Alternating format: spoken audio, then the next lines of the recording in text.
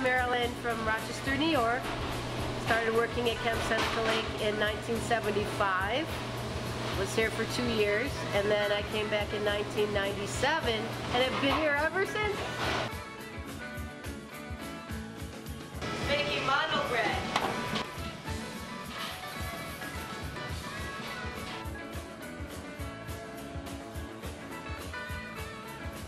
This is the best staff I've ever had at CSL.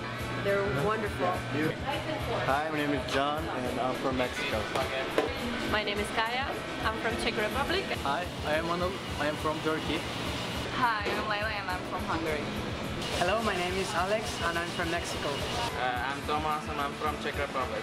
8, 29, 30, 31, We have 35 times 40, 1,400 pounds of cheese in this refrigerator. Hey, I'm James, I'm from Ireland.